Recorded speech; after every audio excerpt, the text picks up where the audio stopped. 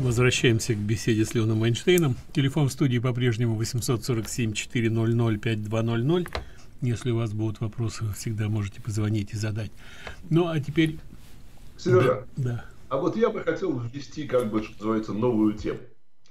А, расширить, так сказать, на, на, наш разговор от, от Америки до трех стран. А, Израиль, Украина, Америка. А, нет, нет никаких противодействий. Абсолютно. Прекрасно. Значит, а, сразу же хочу сказать, что я не родился, не жил на Украине, там мой так сказать, дедушка и бабушка оттуда когда-то приехали в Питер.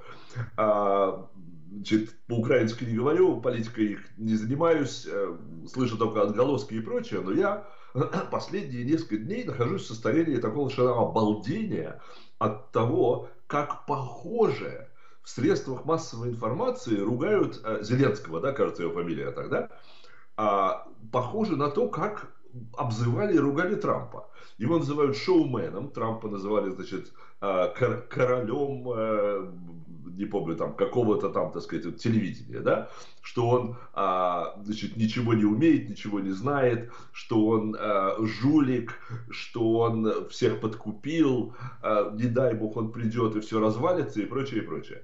Я ни за кого, честно говоря, не голосую, но я голосую. Я не голосую за кого, я ни за кого не ратую даже, да? Но я поражен тому, как риторика против вот этого нового человека, который, ну, он шуммен, дальше что? Это значит, он умеет хорошо говорить, умеет хорошо шутить, у него с бизнесом вроде все в порядке, вроде ни от кого не зависит, так сказать, не живет за чей-то счет, как большинство политиков, да? На Украине, наверное, когда у тебя какой-то бизнес, ты связан с какими-то там олигархами, называют, так сказать, и не связан с другими, опять, я не знаю, я не лезу в Украину, не в этом дело. Меня просто совершенно поражает, насколько Украина, вот Порошенко, то есть те люди, которые а, за него, они атакуют похоже вот этого Зеленского, как у нас люди Хиллари атаковали а, Трампа вместе с прессой, которая продалась там, не знаю, может на Украине не продалась, да? Теперь перекидывая дальше, Израиль. Смотрите, что происходило последние дни перед тем, как Биби Натаньягу выбрали.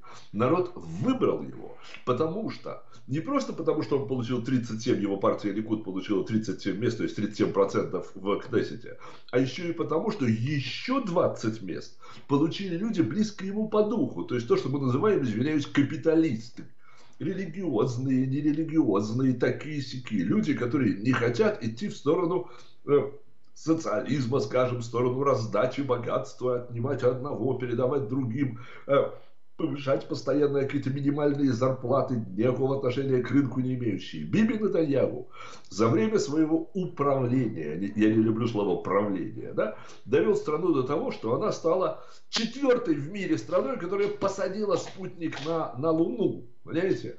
А, сказать, на Марс они там что-то засылают. Израиль, в котором живет сколько, 7 миллионов человек сегодня, из которых 5 миллионов евреев, а 2, так сказать, имеют очень среднее образование, да, вот, и они вторые в мире по, по количеству изобретений, вторые в мире, после нас, после Америки, да, вторые в мире по внедрению изобретений. А медицина сегодня, как она могла бы существовать, если бы не было лаборатории в Израиле? Весь мир построил там, в Израиле, это благодаря Натаньяву, потому что он создал в стране совершенно не социалистический, а нормальный, свободно рыночный. Там в Израиле есть проблема. Они тратят огромное количество своего бюджета на оборону, как вы понимаете, да, и огромное количество из своего бюджета тратят на прием новых людей. Но тем не менее, то, что вот остается, поэтому у них очень высокие налоги, да, люди строят, но то, что остается, их не грабят им дают возможность вкладывать это обратно. Государство пытается им помочь, налоги снижает и тому подобное. Только развивайтесь, только делайте. И поэтому это единственная страна на белом свете, которая за все время с 2008 года по сегодняшний день не почувствовала даже на четверть процента никакого, так сказать, депрессии никакой не было. Вообще. Единственная в мире такая страна. Весь мир пошел вниз – Израиль продолжал идти вверх каждый год на 3-4% годовых, увеличивая свой GDP. Значит, и то же самое про абсолютно, то же самое говорилось про Даньяву. Он вор, значит, все средства массовой информации, он вор, он украл. Я начал выяснять, что же он украл. Оказывается, ему дарили сигары очень дорогие и коньяк. А он, сукин сын такой, да, их выкурил, коньяк выпил, но не сообщил в налоговую, насколько денег ему подарили сигары. Это обвинение о премьер-министру страны. Он не утащил вазу дорогую домой. Его приносили сигары, он их выкуривал, он любит сигары. И это есть взятка. От кого взятка? От, от президента Франции, который его ненавидит, нет? Или, или, или, или сказать, может, Германии, которые тоже пытаются резолюции всех, которые против Израиля, так сказать, проголосовать за, чтобы хуже было Израилю, да? Вот. А и это вот меня поражает, как я начинаю думать, что Зеленский может быть тоже справа. Я не знаю его программу, я не знаю, что он обещает, я не знаю, какая у него команда. Очень много покажет команда сразу же, да? Вот. Но а похожесть того, что происходило с Биби, который, слава богу, выиграл, с Трампом, который, слава богу, выиграл, и с Зеленским, который пока что, опять не знаю, слава богу, не слава богу, просто не знаю, да, но пока что в первом туре набрал, по-моему, в два раза больше, чем следующий человек Порошенко, меня поражает, как, во-первых, набрасывается хищная стая, а во-вторых, как народ говорит, а-а, осторожненько, мы будем сами разбираться без вас. Вот это то, что я хотел сказать. Ну, давайте послушаем теперь, что думают наши слушатели. Да. Добрый день. Здравствуйте. Добрый день. Я хотела сказать, э, э, э, что про Зеленского как раз. Зеленский, вы вот правду говорите, что вы не знаете, поэтому я вам хочу сказать. Он четыре раза отказался удрал просто с армии. Это одно. Не спешите, я вам скажу потом, раз вы не знаете. А, а люди до сегодняшнего дня, каждый день, посмотрите, сколько детей, 18-19 лет убитых, э, удрал с армии. Теперь второе. Вы видели, что э, Натаньяху или какой-нибудь другой правитель э, э, в Израиле не разговаривал э, э, языком нации? А он не будет, он смеется и, не, и не научился. И столько лет – проходит мимо людей в магазине, слушает то-то, и как-то ему никак. Э, э, э, это такая обида для нации, потому что я говорю, в Израиле это бы в жизни не прошло. Теперь третье. Люди воюют там, коллеги, я вчера пошла, это я была на радио, уже расплакалась, потому что Наталья, Наталья это Воронова была, тут просила, чтобы кто-то помог, так люди не, не говорят, что что-то дадут, а только начинают говорить, что то, то другое политику глупый. Но я хочу сказать, что, что я, а я сказала, что я 250 долларов, Юрий Кривецкий, можете посмотреть на интернете, не видела его никогда, ногу разбитую полностью. Я расплакалась, тот выслал ему вчера, сегодня, спасибо, выслал. Но я прошу, хочу сказать, что он посмеялся, говорит, что Украина это э, немец, э, дешевая проститутка, э, то это как, как, как, кто бы там ни был, послушал русские люди, еврейские люди, украинские люди, услышали, что их родина проститутка. Это кто такое может сказать? Теперь четвертое. Это э, воины стоят там э, в окопах, ни налево не убежать, ни направо не убежать, бо вырыет эту ямку и стоит, только показался, стреляет то с той стороны, то с той, бо не знает, кто это. И он говорит, чтобы им дать эти палочки, если бы дали бонитовые или какие, то они бы электроэнергию э, выработали, чем не, нечем заниматься. Что вы такое можете говорить, что, он, э, э, что вот показали, показали, что одного вора, этот уже себя показал, влез э, э, Порошенко, влез ни, ниоткуда. 20 лет он был при при э, э правлении вице-министром таким, таким, таким, потому что тут на радио тоже говорят, взял разграбленную страну. Не надо говорить неправду. Он 20 лет был, начиная от Кучмы, до конца Порошенко был. Обокрал, сделался э, миллиардером. В этом году на, э, э, ну, показал документ миллиардер. Поэтому люди взя, э, okay. кидаются в другую сторону. А этот тоже очень-очень-очень богатый человек. Понятно. Ваша точка зрения понятна. Спасибо никакого. большое. Ну, мы не можем бесконечно говорить. Огромное спасибо, да. Мы просто не можем долго очень. Э, все, Тем все более, что есть понятно. еще какое-то мнение. Вы считаете, что из двух зол а, Порошенко и Зеленский вы предпочитаете все-таки Порошенко? У нас тут масса звонков. Давайте послушаем, да. что думают другие. Пожалуйста. Алло, здравствуйте. здравствуйте. Э, Леон, скажите, пожалуйста, вы много лет жили в Израиле, и в отличие от нас, американцев, знаете политическую кухню э, Израиля изнутри. Э, вот э, э, Натаньягу выиграл. И сможет ли он э, назначить министра из, э, из не членов депутата Кнессета? Вот я к чему это говорю. Вот э, министр э, юстиции ее, кажется, Шакета зовут, э, она э, э, ну, исправила много хорошего, полезного за, за свою вот, деятельность министром в прошлой каденции, скажем так а, сделала, и она намеревалась э, исправить положение в, э, в, Судебе. В, Давайте я попробую ответить так, на вопрос, спасибо. потому что он начинает расширяться. Да? Значит, в Израиле следующая система. Там не две партии, а сколько угодно. Э, любая партия, которая прошла, что называется, больше, чем 1%, может быть 2, я сейчас не, не помню, да, населения, она имеет право на места в э, Кнессете. И вот, значит, у одной партии 37 мест, у другой 14, у другой у третьей 5 и тому подобное. Каким образом сказать, набирается то большинство, которое можно назвать значит, большинством и которое будет иметь право назначать премьер-министра? Значит, набирается так. Если у тебя 51 голос, вот все те партии, которые вместе объединились, или больше, то ты идешь к президенту и говоришь, вот, так сказать, мы, мы собрались, нас 51 голос, а у тех 49, поэтому мы назначаем премьер-министром руководителя самой большой нашей партии. Или нет, кстати.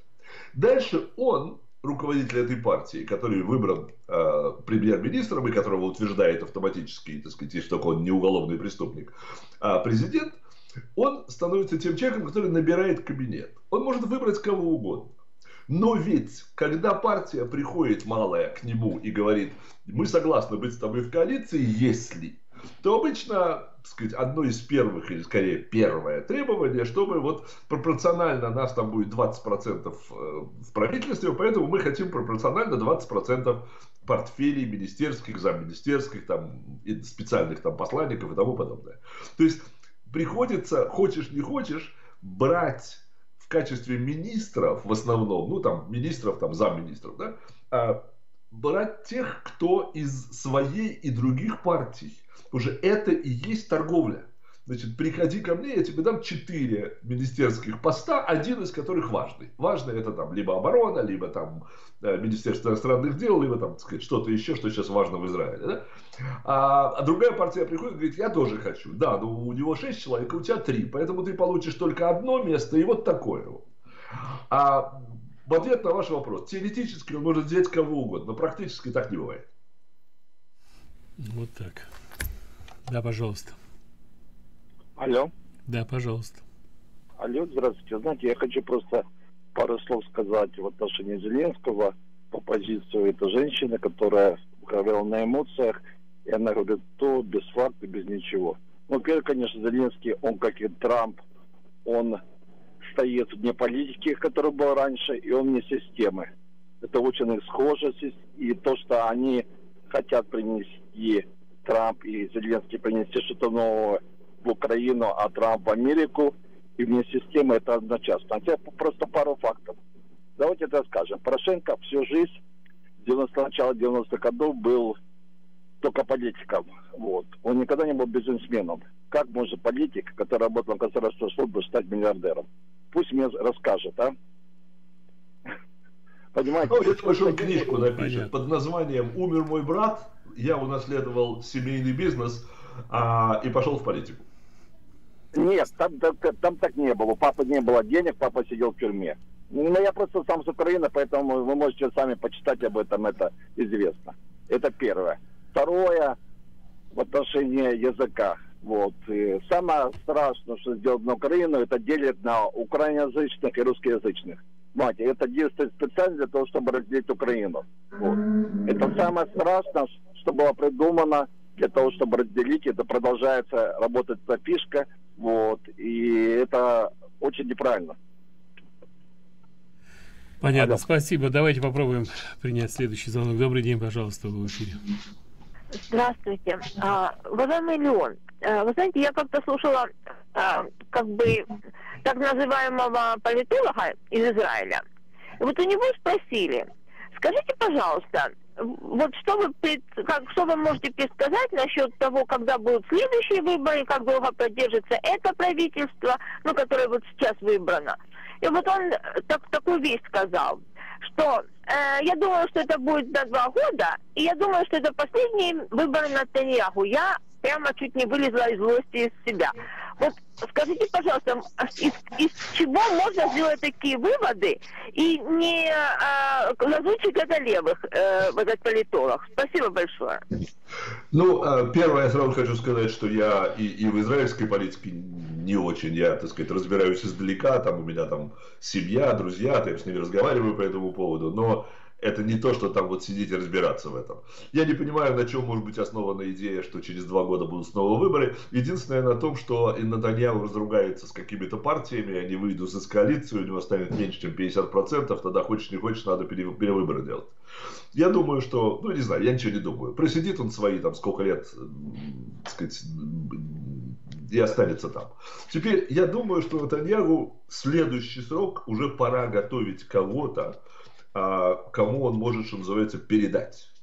И может быть не одного человека, а несколько, потому что когда, так сказать, кого-то готовят, то э, это не то, что когда сам пробивается, да, вот с Горбачевым, да, его готовили-готовили, а потом выяснилось, что он, в общем, развалил э, Советский Союз. Сейчас не говорю, это хорошо, это или плохо, с их точки зрения плохо, да, вот. А обычно люди, которые умеют сами пробиваться, умеют сами строить, так сказать, и прочие коалиции, завязывать э, взаимоотношения, строить их тому подобное, они лучше руководят верхушкой государства, а те уже руководят государством.